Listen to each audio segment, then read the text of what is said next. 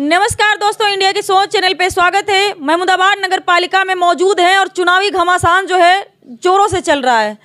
लोगों के मन में बहुत सारे सवाल चल रहे हैं कि यहाँ पर मैंने अभी दो वार्ड में सर्वे किया है, जिससे सर्वे में निकल के सामने आ रहा है कि कुछ लोग तो बदलाव चाहते हैं और कुछ लोग तो विकास के मुद्दे पर वोट देना चाहते हैं।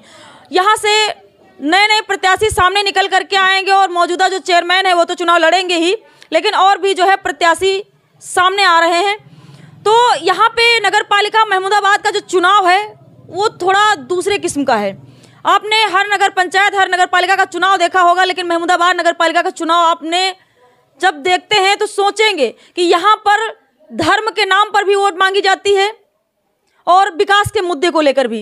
लेकिन सबसे ज़्यादा अगर हम बात करें तो धर्म के नाम पर यहाँ वोट मांगी जाती है और हमारे साथ आज मौजूद हैं नदीम जी हैं और उनसे बात करने वाले हैं कि चुनाव आखिर लड़ने की मन में सोची है। इससे पहले चुनाव लड़ भी चुके हैं जो असफल रहे हैं और इस बार भी प्रयास है। तो कोशिश करने वालों की हार नहीं होती है। सबसे पहले तो स्वागत है हमारे चैनल में आपका। जी बहुत बहुत शुक्रिया। चुनाव नगर पालिका का आप लड़ रहे हैं। इससे पहले भी दो बार आप चुनाव लड़ चुके हैं। तो असफल रहे हैं, लेकिन आप कोशिश जारी रखे हैं तो अब की बार चुनाव लड़ रहे हैं तो अब की बार आपको क्या लग रहा है? देखिए, ये चुनाव जो नगर पालिका का है, सीमा विस्तार के बाद, ये एक अपना अलग तरीके से चुनाव हो रहा है, और इसमें हमारे ग्रामीण की जो मतदाता की संख्या जो बढ़ी है, क्योंकि हम इससे पहले भी दो चुनाव लड़ चुके हैं, और पूरी विधानसभा का जो संगठन है, और पूरे विधानसभा का जो नेटवर्क है हम लोग जनता के बीच में रहते हैं पूरे पाँच साल। और जनता के सुख दुख में जो जायज़ और मुमकिन मदद हो पाती है, वो हम लोग करते हैं। जनता, सर्व समाज की जनता, हिंदू, मुसलमान, दलित, सारे समाज के लोग हमारे साथ में रहते हैं, उनकी दुआएँ, उनका आशीर्वाद रहता है। चुनाव में जीत हार लगी रहती है। जिस दिन ईश्वर की मर्ज़ी होगी, उस दिन चुनाव इंशाल्लाह जीतेंगे। राजनीति में कब से आप जो है, किस पार्टी का सपोर्ट करते हैं? हम समाजवादी पार्टी में हैं। समाजवादी पार्टी के अल्पसंख्यक प्रकोष्ठ के प्रदेश सचिव हैं। अभी विधानसभा का चुनाव हुआ।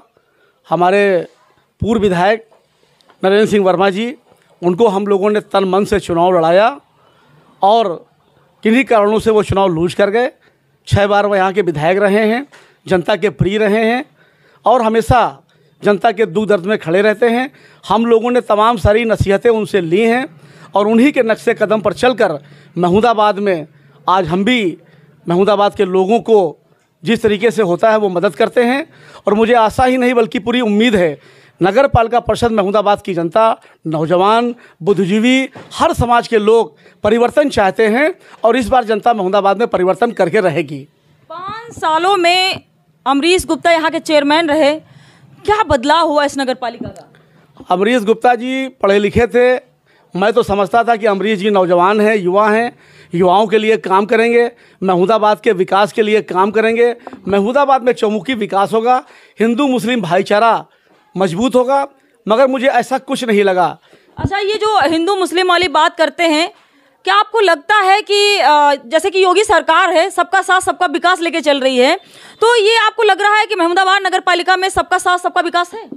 महमूदाबाद में यदि सबका साथ सबका विकास का मामला होता तो उनके द्वारा जो अनाप शनाप बातें केवल एक समुदाय को लेकर की जाती हैं, वो न की जाती क्योंकि हमारे देश की सरकार, हमारे प्रदेश की सरकार, हमारे प्रधानमंत्री जी, हमारे मुख्यमंत्री जी, सबका साथ, सबका विकास, सबके विश्वास की जो बात करते हैं, वो तो सही है, मगर जो स्थानीय नेता हैं वो सबका साथ, सबका विकास, सबके विश्वास का नारा तो देते हैं, मगर उनके मन में कहीं ना कहीं से चोर है। वो केवल एक समुदाय की बात करते हैं और उसका केवल और केवल एक रीजन है, क्योंकि वो जानते हैं कि केवल हमको एक समुदाय का वोट मिलेगा, एक समुदाय का वोट नहीं मिलेगा। मेरा मानना है कि यदि हम जनता के दिलों को जीतने का काम करेंगे, उनके विश्वास को जीतने का काम करेंगे, निश्चित तौर पर सर्व समाज की जनता अपना आशीर्वाद देने का काम करेगी और अपना वोट और सपोर्ट देकर नगर पालिका में अपना सेवक चुनकर भेजने का काम करेगी।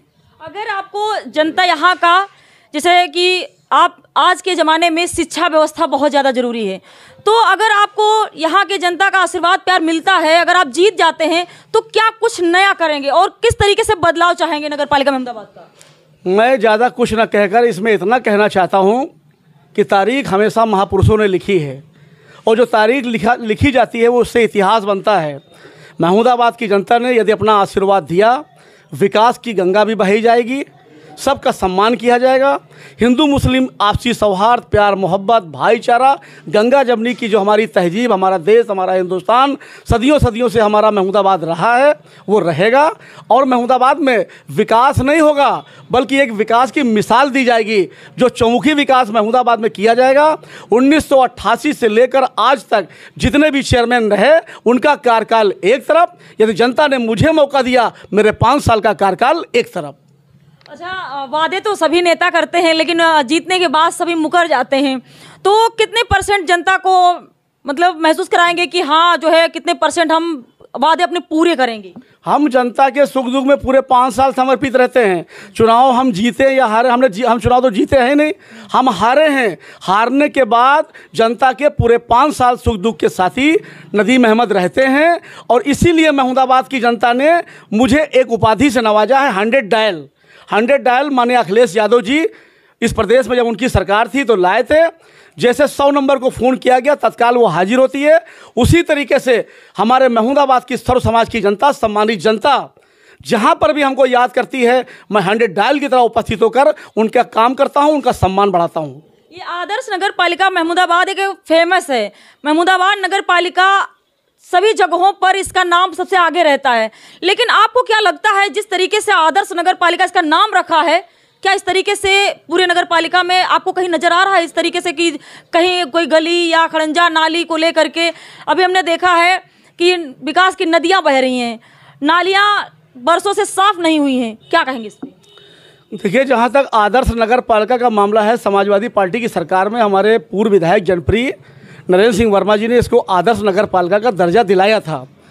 नगर पालिका का दर्जा आदर्श होने के बाद जो हमारे महमूदाबाद में सफ़ाई का जो व्यवस्था है, जो नालियों की व्यवस्था, जो सफ़ाई, जो गंदगी है और महमूदाबाद में चारों तरफ़ गंदगी और भ्रष्टाचार नगर पालिका में चरम सीमा पे व्याप्त है और जिन, जिस, जहाँ पर भी कोई शिकायत या कंप्लेंट की जाती है, कोई सुनने वाला नहीं है, पूरे पाँच साल नगर पालिका में मनमानी हुई है। पूरे पाँच साल नगर पालिका में भ्रष्टाचार चरम सीमा पर रहा है। सफ़ाई के नाम पर अगर सफ़ाई की बात की जाए, मैं तो नगर पालिका का प्रत्याशी हूँ और दो चुनाव हरा हूँ। आप मेरी गली की नाली को देख लें, मेरे सामने के नाले को आप देख लें। हम एक एक हफ़्ता यहाँ के सफ़ाई कर्मचारियों से जब मैं खुशामद करता हूँ तब जाके मेरी नाली साफ़ होती है। आप बताइए आम जनता क्या हाल होता होगा? मैं महमूदाबाद की जनता को जनता से क्या अपील करना चाहते हैं? मैं यहाँ की जनता से अपील करना चाहता हूँ जो आपका है जो आपका भाई और बेटा है जो हिंदू मुस्लिम एकता का प्रतीक है जो महमूदाबाद में सबका साथ सबका विकास की राह पर महमूदाबाद के लोगों को जोड़ने का काम करे। और महमूदाबाद में किसी भेदभाव के सबका सम्मान करें, सबका काम करें नगर पालिका में जब कोई भी अपना काम लेके जाए तो उसके साथ भेदभाव भेदभाव न किया जाए, सौतेला व्यवहार न किया जाए, बल्कि नगर पालिका की सम्मानित जनता के साथ प्यार मोहब्बत से पेश आकर उसका काम किया जाए और उसका